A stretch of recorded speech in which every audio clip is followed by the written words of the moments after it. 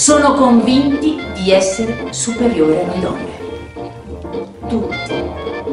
Anche quello più aperto, più sensibile, sotto sotto, pensa che alla donna in fondo manchi qualcosa. Provate a chiedere a un uomo che sta per diventare padre, preferiresti un maschietto o una femminuccia? Ecco, lui con tutta la convinzione che riuscirà a metterci vi dirà, ma è uguale, l'importante è che sia sano. Come quella notte, camminavo nel centro di Milano, semideserto e buio, e mi vedo venire incontro l'osco individuo. Cappello in testa, soprabito bianco che copre un abito scurissimo. L'uomo davanti a me ha pochissime probabilità di essere Humphrey Bogart.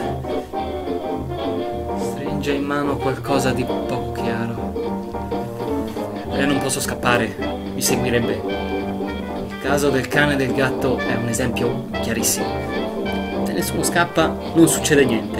Ma appena uno dei due scappa, l'altro...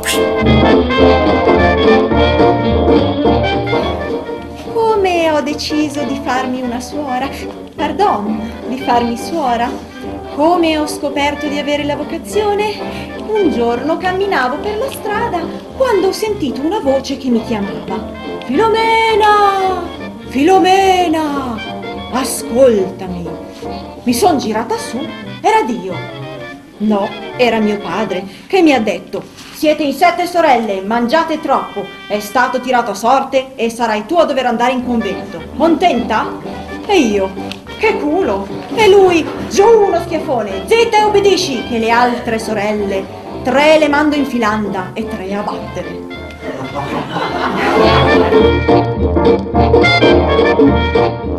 Ma come si fa a inventare una parola così brutta per una cosa così bella?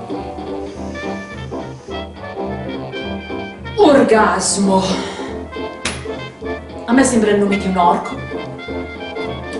Bambini, fate la nanna, eh? Altrimenti chiamo orgasmo.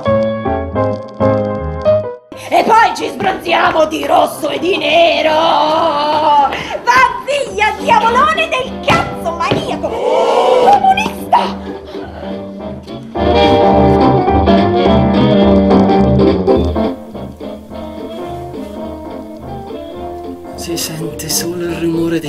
Miei passi. Avrei dovuto mettere le Clark.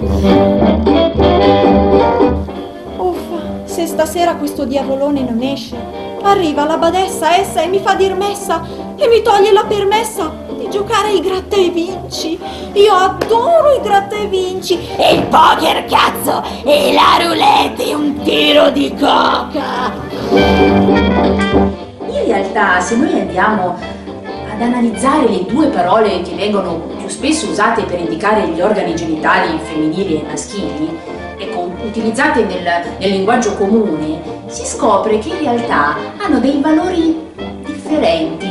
Ecco, io non so spiegare perché, eh? però una viene sempre usata per indicare tutto ciò che c'è di bello e di buono nella vita. Che figata! Che roba figa! Ecco, e si è subito catapultati in un mondo bello, positivo, colorato. L'altra viene utilizzata per indicare l'opposto. E che cazzo! E che cazzata! E si è subito in un mondo triste, avvilente, perdente. Tant'è che gli uomini hanno dovuto prendere in prestito la nostra parola, violentarla grammaticalmente per cercare di trasferire un po' di positivo nel maschile. Che figo! Che poi è giusto, eh? Perché se uno dei due scappa vuol dire che ha dei buoni motivi per essere seguito, altrimenti che scappa a fare? Da solo. Si direbbe tutt'al più che corre, no? E certamente io non ho voglia di mettermi a correre come un deficiente alle due di notte al centro di Milano, eh, senza le Clark, oltretutto. Ma l'importante è non avere paura. I maniaci la sentono, è come un odore. Delle bestie questi maniaci. Sta attenta, bambino, che gli uomini vogliono soltanto quella cosa là.